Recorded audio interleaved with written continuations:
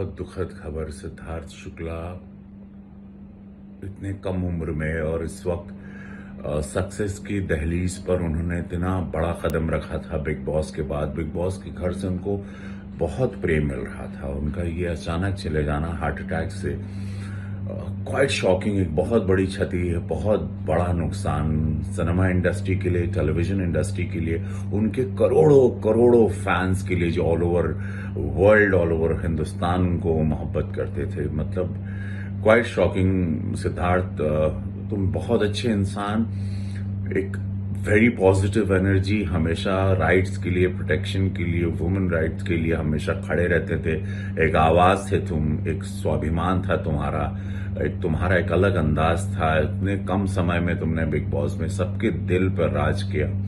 और ये सुबह, ये पता नहीं ये कैसी सुबह हुई कि आज ये खबर आई और बहुत बहुत बहुत बहुत दुखद ये है।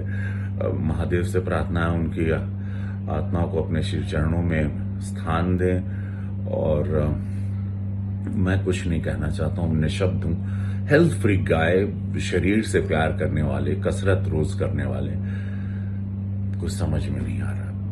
Quite shocking very very shocking